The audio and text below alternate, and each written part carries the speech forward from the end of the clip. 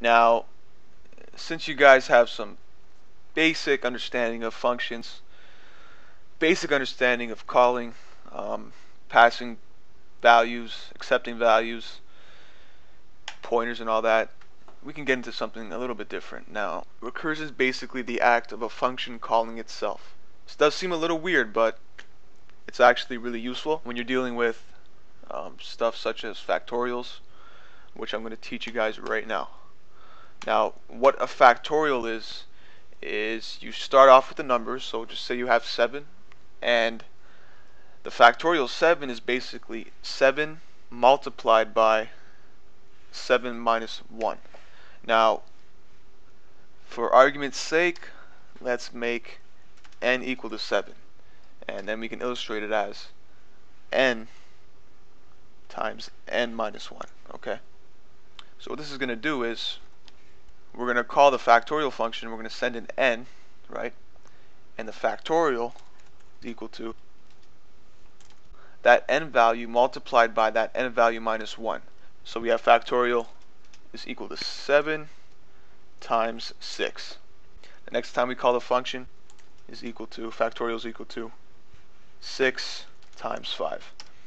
And then we just go down the line, we go 5 times 4, 4 times 3, etc., etc., etc., until we get uh, to 0, which is the base case. Now, recursion will run until the base case is called, or the base case is found. Um, in this case, it'll be 0 because that's that's going to be the condition in our for loop when we do all this adding.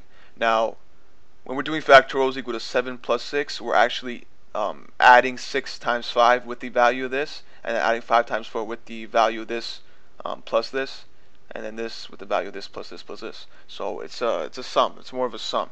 Okay, we're not resetting the factorial each time. So basically, that's what it is. Okay.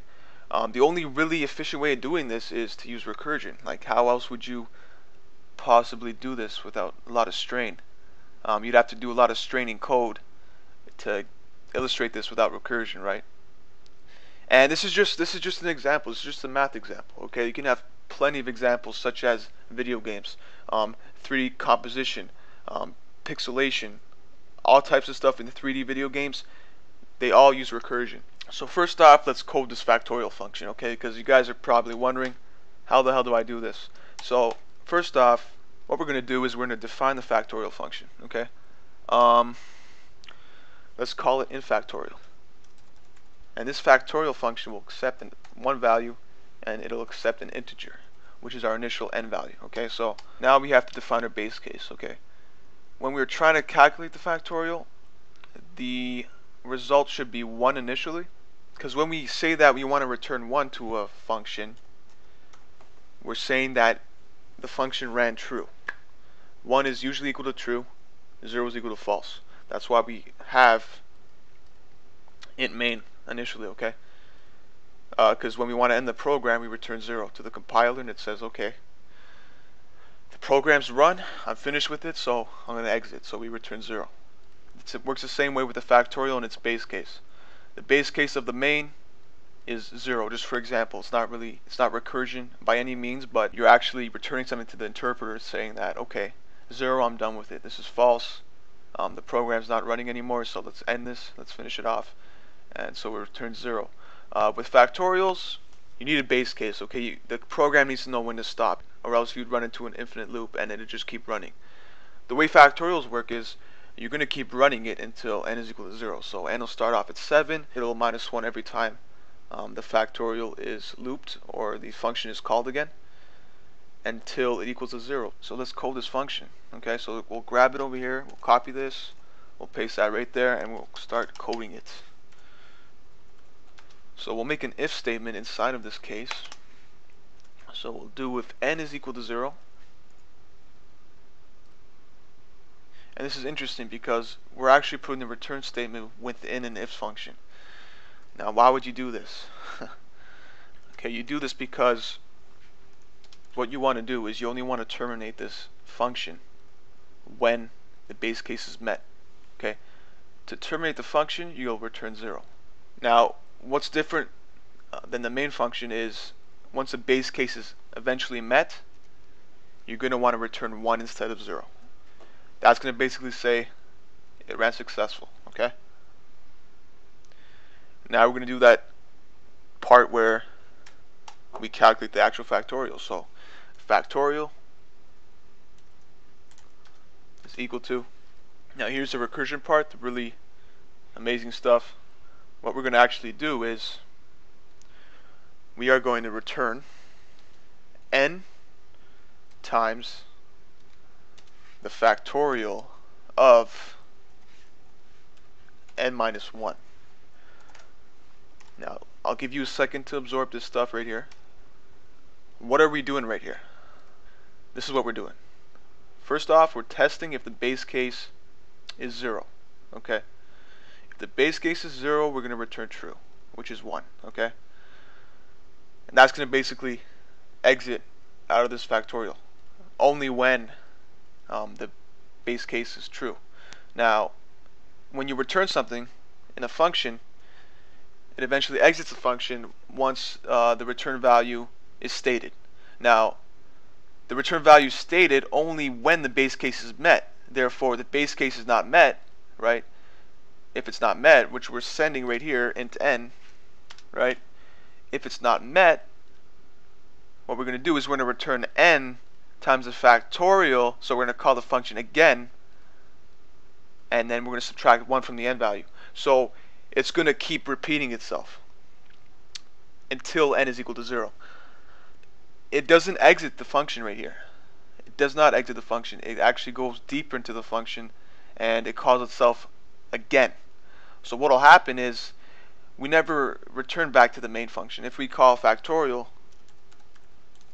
and we send in like 5 or something like that, what the compiler is going to do is it's going to send 5 into this integer and it's going to store it inside of n. It's going to test if 5 is equal to 0. It's not, so therefore it's never going to exit. It's going to go to the next line, which in fact is a call to itself inside of itself. So it's going to call factorial. It's going to send 5 minus 1, which is 4. 4 is going to go right here, so int n is equal to 4. If 4 is equal to 0, return 1, which is not true. Therefore, it's going to return 4 minus 1, 3. So 3 goes in. It's like a never-ending loop. Well, it is an ending loop. It ends when the base case is met, which in this case is 0. One thing that's similar to all recursion programs is the base case is usually the same for most programs. And they all have the same functionality. Once the base case is met, we return 1. So as I said, once you get that 3 inside of there, it'll test if it's 0. No, not true, so therefore it's going to return 3 minus 1. You have 2 here. 2 is not equal to 0, therefore blah blah blah. It goes to 1. 1 is not equal to 0. Therefore it's going to return n times the factorial of n minus 1. But then once 0 hits, it's equal to 0, therefore it's going to return 1. Now let's try to run this program. And let's see what it gives us.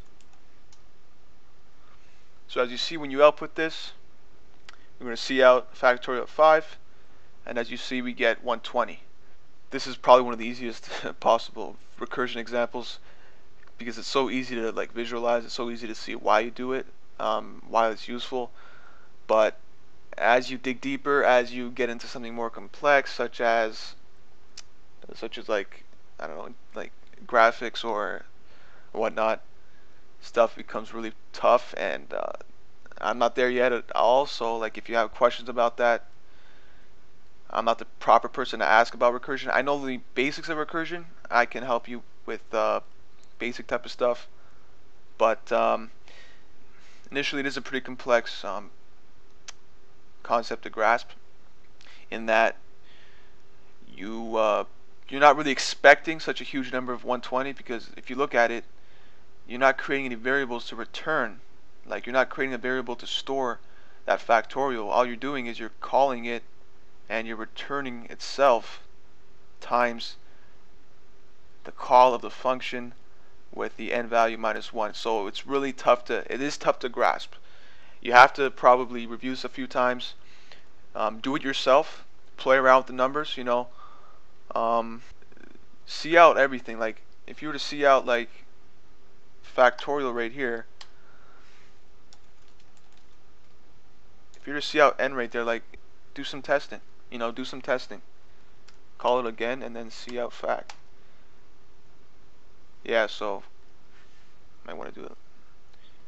So play around with it, right? See, five, four, three, two, one. You might ask, how the hell does it store that value?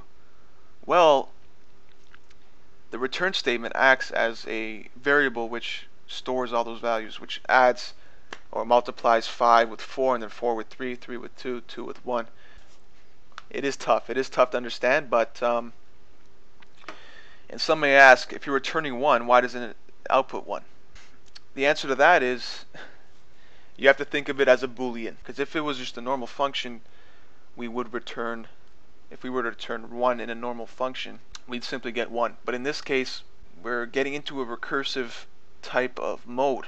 Okay, we're getting to a recursive mode where once it gets into it, it's got to get out of it. So that's just a very light brush on recursion, guys.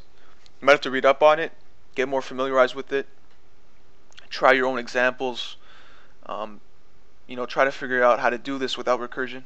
I did hint to it in this video, how to do it without recursion. Try to do it, you know, try to understand why this works. You can try this with character strings if you wanted to. Make sure to have a base case and make sure that you eventually will reach that base case or else you're going to start infinitely calling that function It's going to turn into some messy code later on or some messy output later on.